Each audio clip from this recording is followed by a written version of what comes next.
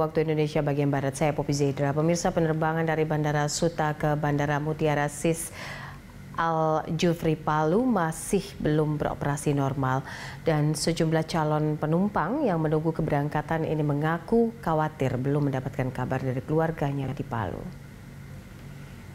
Jadwal penerbangan dari Bandara Suta, Tangerang menuju Palu dibatalkan dampak dari kerusakan sarana Bandara Mutiara Sis Al Jufri Palu. Meski Kemenhub menyatakan Bandara Palu telah beroperasi, namun hingga malam ini penerbangan komersil ke Palu belum beroperasi secara normal.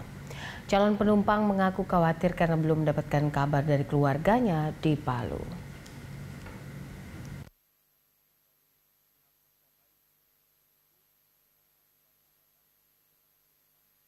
karena kondisi keluarga saya dari tadi malam sejak gempa tidak bisa saya hubungi.